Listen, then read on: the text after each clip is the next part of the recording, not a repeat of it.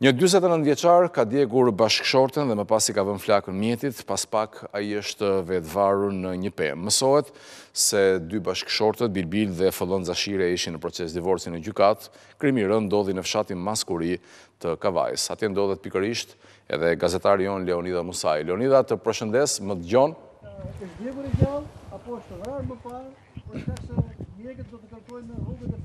Leonida më dëgjon?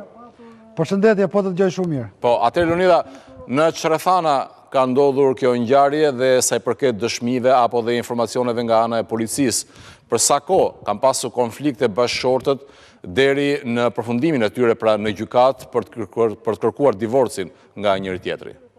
Seli makinën e djegur, por të sile të të rëndimit e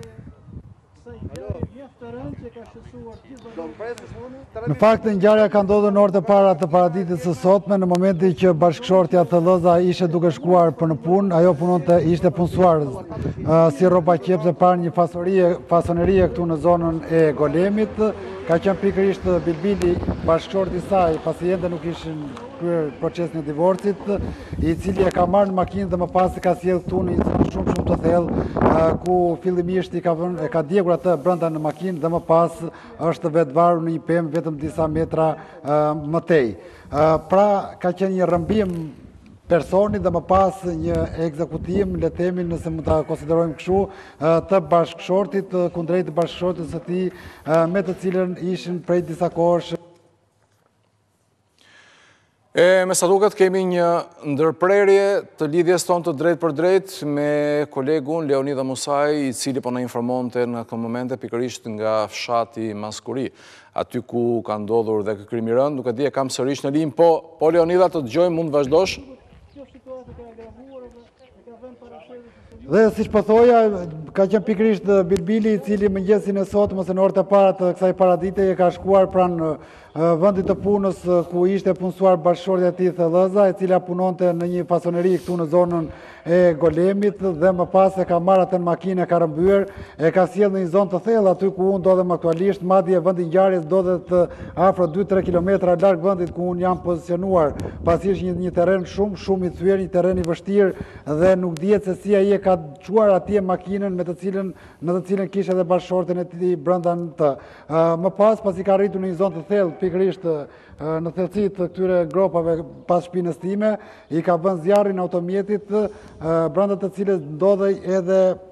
Edhe bashkëshortja Thellëza. Më pas, pasi i ka vënë zjarrin automjetit dhe ka djegur të shoqen brenda në makinë,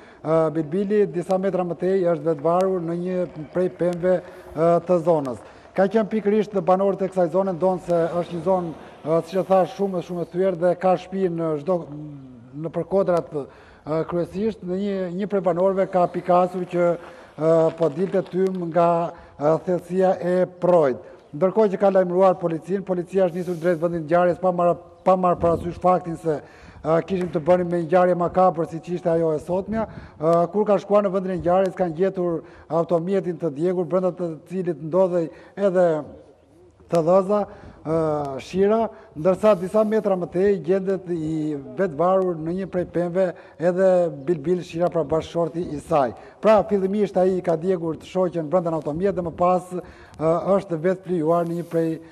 pemëve aty pranë. Ndërkohë që policia ka nisur hetime sigurisht për këtë ngjarje të rëndë, ku nga hetimet paraprake dyshohet se kjo ngjarje ka si pasojë ka ardhur si pasojë e një konflikti familjar dhe kryesisht për çështje xhelozie, ka qenë pikërisht Thëllëza e cila ka kërkuar divorcin nga bashkëshorti pasi ky i fundit ishte bërë shumë agresiv gjatë kohëve të fundit dhe ishte shumë xheloz për të pasi ajo punonte në një prej fasonerive të zonës. Çifti ka dy fëmijë, ka një djalë 18 vjeç dhe një vajzë të të fejuar, ndërkohë që zënkat në këtë familje, në familjen Shira, kanë nisur prej afro një viti. Ato gjatë muajve të fundit janë intensifikuar më tepër dhe situata në këtë familje është agravuar dhe ka qenë pikërisht Thëllëza e cila ka hapur një proces gjyqësor duke kërkuar divorcin nga bashkëshorti i saj Bilbili. Dhe ditën e hënë ka qenë ose ishte përcaktuar që të zhvillohej seanca e parë e procesit gjyqësor në lidhje me divorcin e çiftit Shira.